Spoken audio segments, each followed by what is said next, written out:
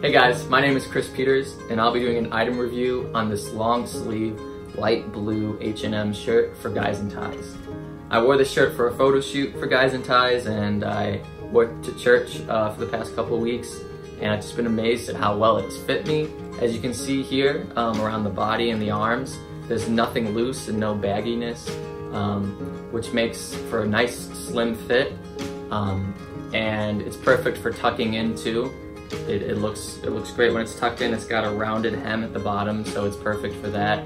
Um, the sleeves, as you can see, there's no baggage around the arms or anything. And the cuffs are have a very nice narrow fit. It's perfect for if you wear a watch um, because the cuff will never go over the watch. It's also um, an easy iron shirt, so it makes for an easy morning. If you uh, wake up and it's pretty wrinkled, you can just do a few quick passes and it's, and it's fine, it's perfect. Um, I really enjoy the shirt and I would recommend it to any of you guys. Um, it's only at H&M for I think 15 or $16 and I think it's a great shirt. Um, you should really check it out. Thanks.